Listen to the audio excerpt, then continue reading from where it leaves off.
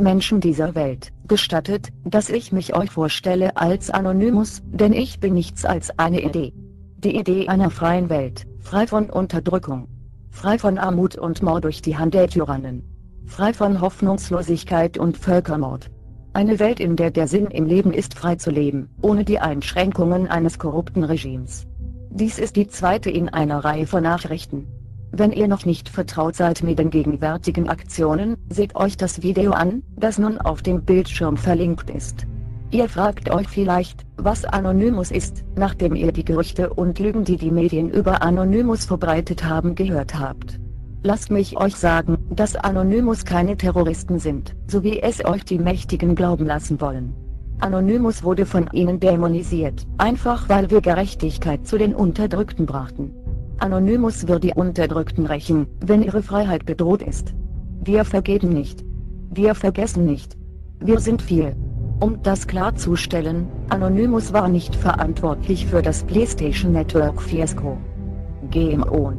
Wir haben Julian Assange und andere Mitglieder von Wikileaks verteidigt, als sie für das Veröffentlichen von Informationen verfolgt wurden, die Beweise lieferten für die Korruption in unserer Regierung und unserem Militär. Wir gaben den Ägyptern das Internet zurück, als die ägyptische Regierung dem Volk die Stimme in die Welt nehmen wollte. Wir haben unzählige Menschen unterstützt und verteidigt in ihrem Streben nach Freiheit und nun werden wir dies auch auf großem Maßstab fortsetzen. Es ist an der Zeit den menschlichen Geist zu erneuern. Ich gehe nochmal auf das vorherige Video ein, um alle Missverständnisse zu beseitigen. Wir rufen alle Cyberkrieger auf sich uns anzuschließen während wir den Spieß gegen die Unterdrücker drehen. In diesem Moment werden Vorkehrungen getroffen, die Stimme des Internets zu zensieren. Das Internet ist die letzte Bastion von wahrer Freiheit für die Menschheit.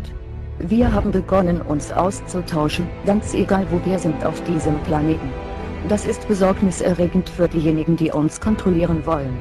Sie wollen uns ruhig stellen und das Internet ist unsere letzte Chance.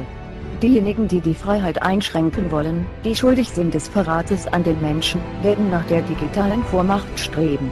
Alle, die gegen den Willen der Menschen und die Freiheit stehen, werden zum Ziel von Cyberangriffen werden, wie sie die Welt noch nicht gesehen hat.